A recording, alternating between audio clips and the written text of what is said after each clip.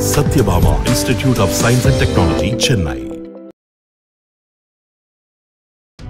நாமக்கல் மாவட்டம் ராசிபுரம் அருகே விவசாய நிலத்தின் வரப்பில் சென்ற டிராக்டர் எதிர்பாராத விதமாக தலைக்குப்புற கவிழ்ந்து விபத்துக்குள்ளானதில் கணவன் மனைவி நிகழ்விடத்திலேயே பலியாகினர். மூலக்காடு பகுதியில் வசித்து வந்த சிவகுமார் கீதா தம்பதியினர் தங்களது விவசாய நிலத்தில் மரவள்ளி கிழங்குகள் தக்காளி செடிகளை பயிரிட்டு பராமரித்து வந்தனர். இந்நிலையில் செடிகள் சாயாமல் இருப்பதற்காக குச்சிகளை கட்டி முடித்து வீடு திரும்பிய போது சிவகுமார் தனது மனைவியிடம் டிராக்டரை இயக்க கொடுத்துள்ளார். விவசாய நிலத்தில் வரப்பின் மேடான பகுதி பகுதியில் டிராக்டர் ஏற முயன்றபோது எதிர்பாராத விதமாக கவிழ்ந்து விபத்துக்குள்ளானது. இதில் தம்பதியர் இருவரும் உயிரிழந்தனர்.